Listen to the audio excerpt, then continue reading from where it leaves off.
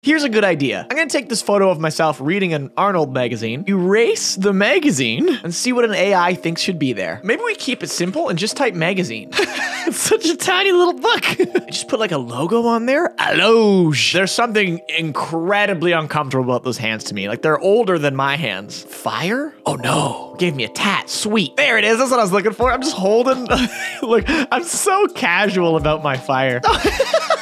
Joe? I'm gonna do my best to hastily remove the entire background. Space station. Yo does this space station have a game console back there? Is that like a pinball machine? I'm into it. Am i on a table it's a room. Like nothing about that's a space station. Christmas scene. Oh no. I have a friend over here. A tiny cyclops down here playing a giant piano. Totally normal Christmas. Not bad. Yo, the walls on this place need some paint. I love how it interpreted in my shoe, made a big boot. Our favorite word, glubo. I am horrified. Subscribe for more.